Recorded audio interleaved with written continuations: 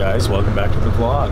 Um, we're on a ferry, heading out, and uh, we're gonna get about a three-hour ferry ride, and depending on how the fishing is, potentially four or five days um, on this island that we're going to, because the river we're fishing is a pretty, pretty big river. I'm not gonna tell you what it is or where it is, but it's a good river, and there should be fish there right now. So we're stoked about that. But look at this, just freaking incredible. So pretty all the time. We got a little tying station set up in the boat. Uh, we'll, we'll go there in a second. Kind of show you some of the bugs we're tying for where we're headed. I'll kind of show you some of the selection that I have.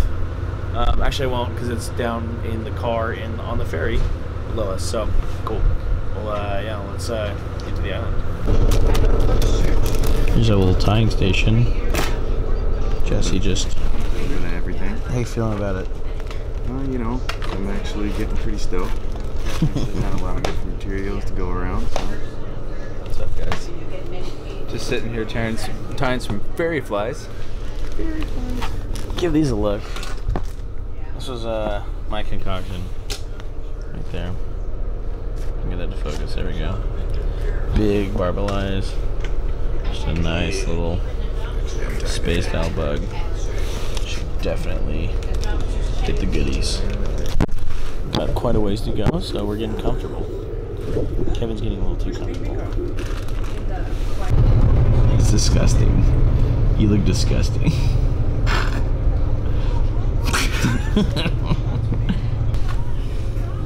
okay, what are you tying there? Oh. So I'm tying. That was a video, I thought you were taking a video. No, that was definitely video. He's embarrassed because it was a video. camera. A nice uh, purple to pink, some rubber legs, some barbell eyes. He's still tying this fly. It's been 30 minutes. It definitely has been 30 minutes, but if you'll point this way o- out to the ocean and see the rocking that we're doing. No, it's too it's too bright. One second, guys.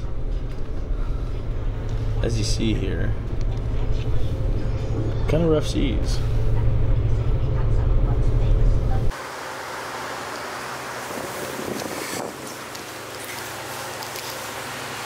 I'm gonna kill the sound here in a second because the wind is it's actually blowing pretty hard.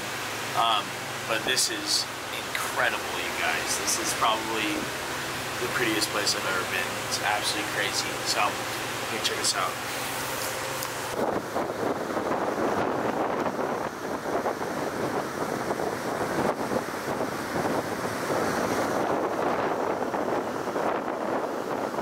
This isn't even like the start of what we've seen or the end of it. Um, such a cool place.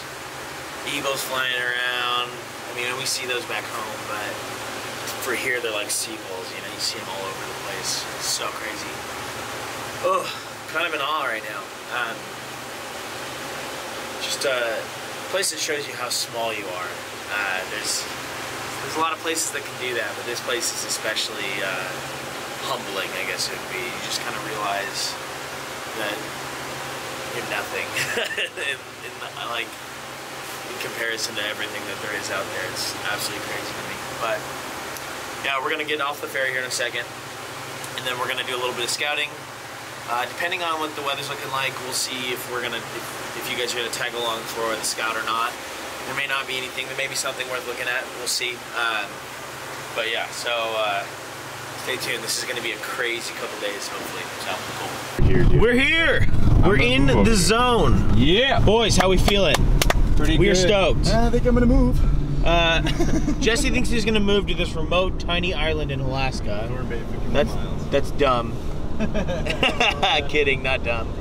But we are uh, currently blasting out of here and uh, gonna go search for some fish right now. Um, I'll talk to you guys either at the river or at the hotel. It's gonna be a lottery. Which one will it be? And you're gonna know right now. All right, guys, I made back to the pad. Um, this is our sweet hotel room for the night. We were gonna get a forestry cabin. They're seventy-five dollars a night. It doesn't have a heater, and this place was like 120 bucks a night. So we're like, we pay the extra 40 bucks each?